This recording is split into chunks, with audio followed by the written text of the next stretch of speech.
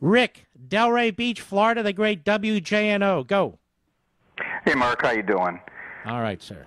Let me uh, mention first, because you said something at the end of that call, why he hasn't been endorsed by Giuliani and uh, Fred Thompson. Well, first of all, because he's played dirty, and you've been saying all along how negative he's been against Santorum and Gingrich. Isn't that a quality that we want from a guy that's going to be up against Obama? Oh, yeah. We want a quality of a guy that's going to trash conservative Republicans. No, Mark, he's not just. He, look, he's trying to win. You, you don't think that he's been trashed as well? Now, listen. Hey, listen I'm, to me. Listen, let, let me explain something. All right, go ahead.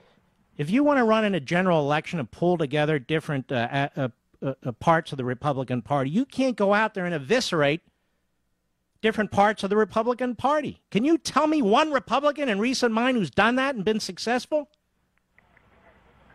Well, I mean, he keeps he keeps comparing himself to Ronald Reagan. Reagan didn't do that, and they had well, a so they, they had a they had is, a they had really... a okay. Hold on a second, and they had a bru- a bruising fight. What's happening now, ladies and gentlemen, is we're asking people to call. All the Romney guys are calling in, which is fine, but they're self deniers.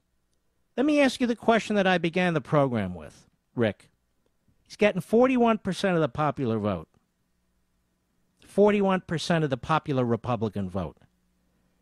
That is so weak if you're the inevitable nominee. Aren't you concerned about that?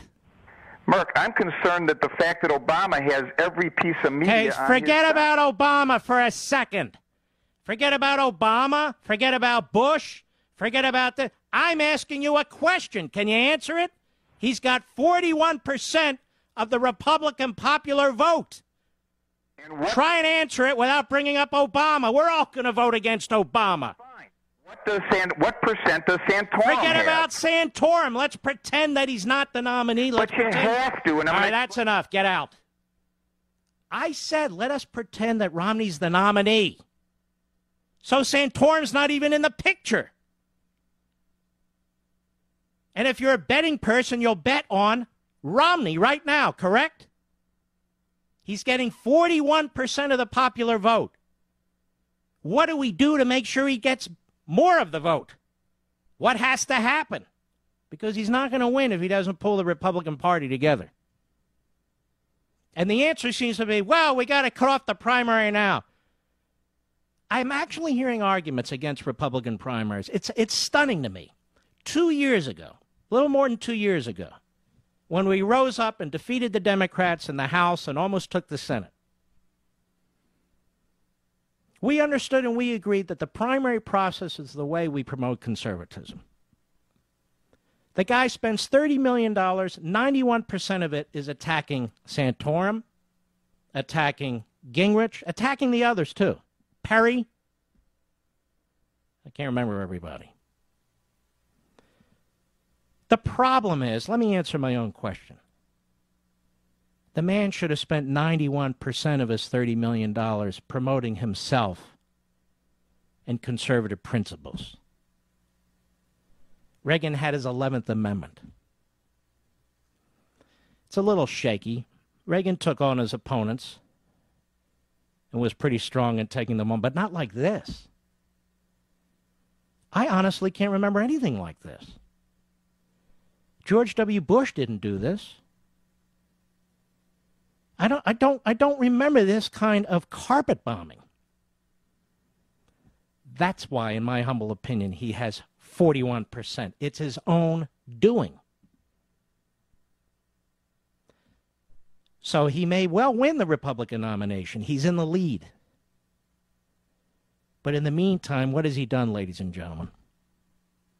I'm giving you my opinion, although apparently I'm not supposed to. I'm just supposed to get in line with all the rest of them. I don't do that.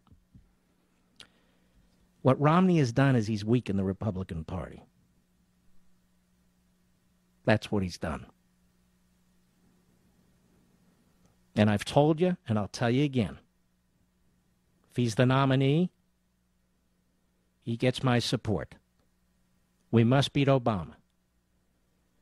But this carpet bombing, these negative ads, just as people are emotionally tied to Romney, they're emotionally tied to Santorum, they're emotionally tied to Newt, they're emotionally tied to uh, Perry and Bachmann and this one and that one. You're going around state after state, and he's going into Pennsylvania to do exactly the same thing. And it's not just Republicans. So called independents have a high negative view of him because they're seeing the same ads. And at the very end, they say, paid for by Mitt Romney. Now, you can squeak through these Republican primaries, and he's squeaking through them in the bluest of blue states. But you're going to tick off a lot of people in the meantime. I don't mind it so much against Obama, negative ad for negative ad, but when you are carpet bomb overwhelming your opponent, he's not going to have that position against Obama. He's, it's going to be the opposite. That's why I'm asking. How do we help him? What do we advise them? And you don't even have to bring up Obama and Santorum to do that, do you?